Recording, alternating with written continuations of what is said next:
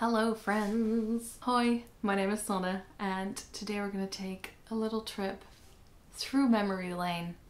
We're going to go back to, let's say, the end of 2020 because today I'm going to be sharing with you my favorite 10 books that I read in 2020. Now, is this a year late? Yes. Did I record this video in January of 2021 for the first time?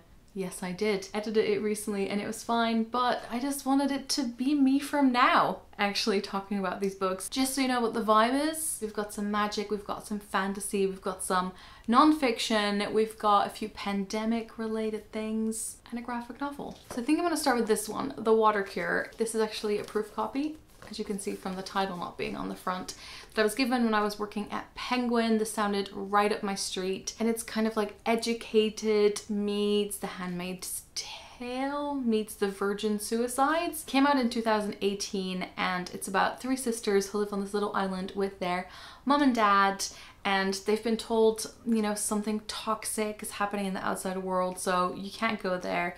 Then their dad goes out to get supplies and he doesn't come back and things kind of slowly start falling apart. It feels very raw. There is a quote on the front that says a pinch of Shirley Jackson. It is creepy. There are all these tests that these sisters kind of have to go through and like dip each other under the water, hurt each other in certain ways. So I say if you have like a super weak stomach, then this is probably not for you. Or if you want a book where you know like 100% of what's going on all the time, then this is not for you. But was really, really intrigued by this. The author's new book is more Handmaid's Tale called The Blue Ticket. I have that as well and I'm gonna read that but yeah this is this was totally up my street. Feels weirdly like a good beach read, maybe controversially. This is a weird one because I enjoyed it but didn't love it. But then the more I think about it and the more I let it sink in, it definitely fits in the like top 10 of the year because it's very memorable. And it is The Secret History. So I read this for a digital book club that I set up in the run up of me writing my book club journal, which I do have here as well here it is. And I was writing a chapter on doing digital book clubs. So I wanted to host one and get a bit of experience from that. And a few of you came to that and it was really fun. And you picked The Secret History as the book to read. I've had this on my shelves for so many years.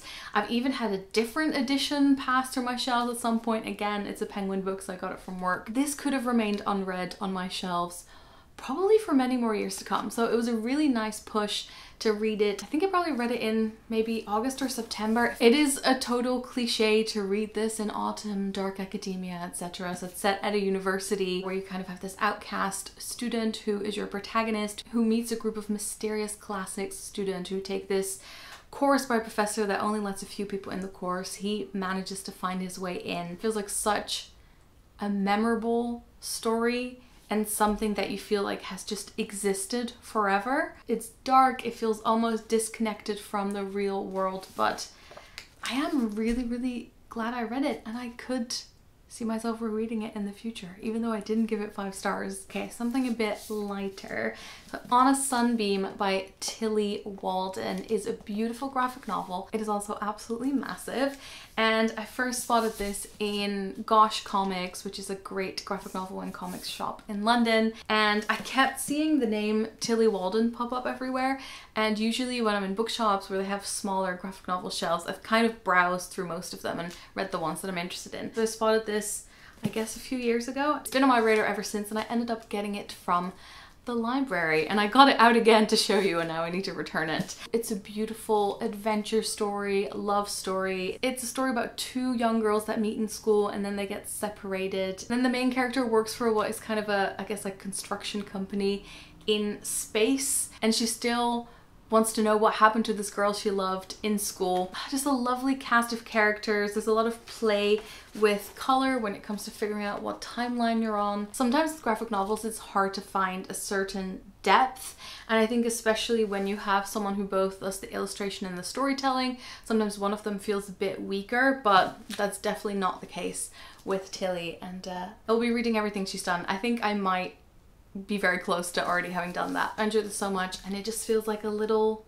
little piece of art. Now we're gonna do two pandemic novels. Feel free to skip if that is not your jam. I made a video in the first months that COVID was starting talking about why I am reading apocalyptic novels, pandemic novels, I found it a good way to kind of think about it, scenarios that were even worse, kind of thinking about how people respond to this. Obviously, it's an incredibly unique time to be able to read books like this, just something I've gravitated towards. And this is a book I had on my to read list for years and years a booktuber recommended this to me probably eight years ago or something like that. I can't even remember her name. But I picked this up in a bookshop about two years ago and finally read it. And it is written around, I think, just after The Day of the Triffids, which is another apocalyptic book, but by John Wyndham, which I absolutely love. There, everything turns out, I don't want to say it turns out alright, it's not great. But this is just a very bleak depiction written in the 50s of what could possibly happen if a disease wipes out all grass and crops. There are so many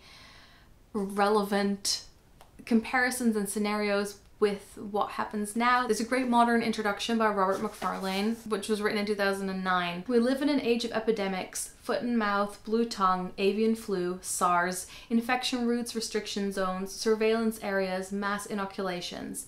We have become fluent in the language of contagion. It follows a family as they try and escape London, get to the countryside and hopefully have a place where they can survive all of this. And it is it is incredibly bleak. It is the worst of humankind coming out. But it still has that weird thing that's like the opposite of like epic and adventurous that some of these british sci-fi novels have. I'm reading the war of the worlds at the moment and there's a lot of similarities where it's just a guy going ooh, I better try and make my way out of London. I'll steal this car. In a way that also feels quite realistic. Quote on the front says, bears comparison with Lord of the Flies, which yeah, I would definitely say is correct. Really interesting read and I'm hoping to read a lot more in this genre also from this time period. And this is almost more on my list as like literature that I was studying. That's why I appreciated it more.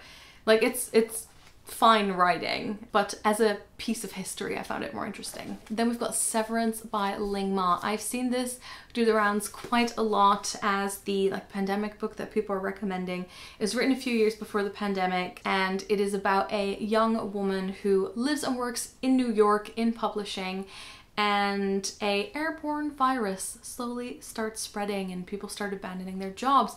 She decides to keep going to her job and a lot of this book is also about office culture very interestingly. I have a few books lined up that are about office culture and sort of having been in the working world for 10 years and having had several office jobs, I've become more and more interested in reading fiction books that deal with that and capitalism and things like that. It has a slight like absurdist angle, just the fact that she keeps going to this job even though it keeps emptying out. Uh, you do also get a peek into the further future where it's a lot more apocalyptic, but a lot of this was really similar to what happens, you know, during the COVID pandemic. There's the classic like abandoned New York atmosphere, but also there's just bits of her daily life. I was gonna say Ocean's 11, that's not what it is. If you like Station 11, then I'd recommend this. This is a great Halloween read. I read this last year. During Halloween, I'd already read a few of the stories, but I decided to do like a full read of it. It is The Beginning of the World in the Middle of the Night by Jen Campbell, good friend, author, and fellow booktuber. It goes without saying, the cover is absolutely beautiful by Aitch it says Aitch 2017. This is a short story collection featuring lots of creepy stories and fairy tales. It ranges from a more kind of Black Mirror-ish vibe to a more fairy tale vibe. It has really good variety of like story length, how intense the stories are, the different topics. It's beautifully written and it transports you to all these different scenarios and these different worlds. There's a great Frankenstein quote in the front which really sets the tone.